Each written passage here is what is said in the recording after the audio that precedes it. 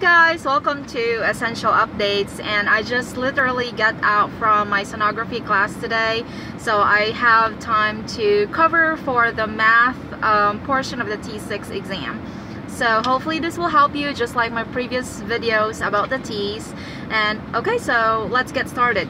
Now with math um, definitely know the PEMDAS and the PEMDAS is basically the parentheses exponent, multiplication, division, addition, subtraction.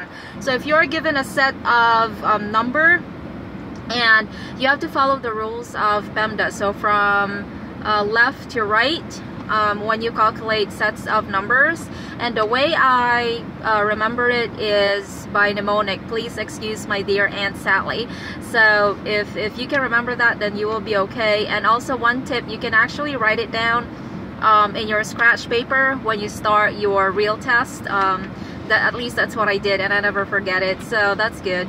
Um, you will have to know the circumference of an area um, conversion problems like ounces to pounds, kilometer to meters, um, centimeters to inches. Um, the you have to know at least the basic guys because if it's like a big problem, then the in the real test they will uh, it is already provided which is the conversion if it's a huge number.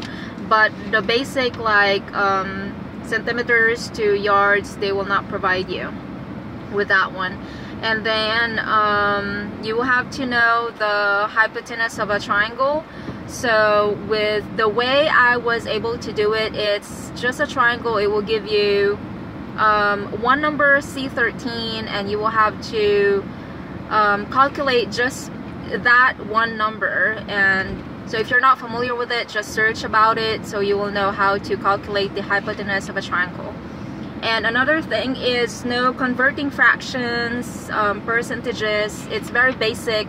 For example if you buy something in the store um, a set of shoes and it has 25% you know what's your total bill? Or what is the 15% um, of $500 for example? And also know the compare comparing rational numbers um, placing numbers in order from biggest to smallest and fractions dividing multiplying and placing them in order. So when you place them in order you definitely have to read the questions guys because um, it might be asked you to place from um, smallest to biggest or biggest to smallest. So don't just assume that directly. So you just have to uh, remember to read the questions. And then with algebra problems um, example how old is Sam if he is five years older than Liz? Or from if you are going to point from point A to point B and you're driving 35 miles an hour how, how long are you you know is it gonna take you to reach um, to point B so if you're not familiar with math, my suggestion is to go over with the practice exam of your review book like in the TEAS Secret or ATI book. Once you've done that, then I think you'll be ready to ace the math problem. It's not as hard as you think it is.